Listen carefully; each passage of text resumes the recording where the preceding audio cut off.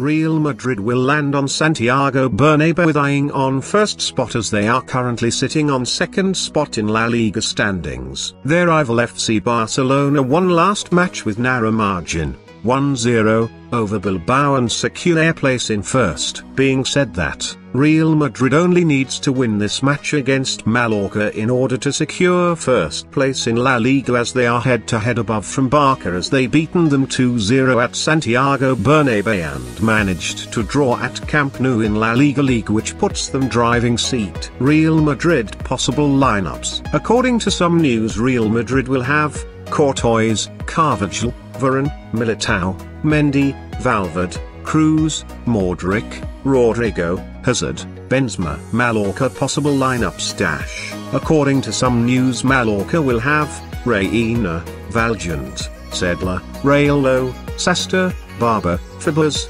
Games, Rodriguez, Jr., Budimir,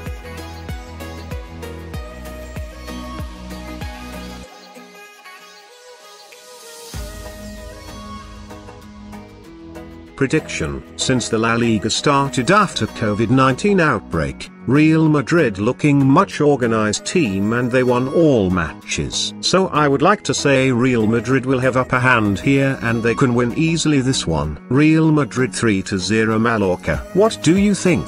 Let us know your final prediction in the comment section. Looking forward to your replies.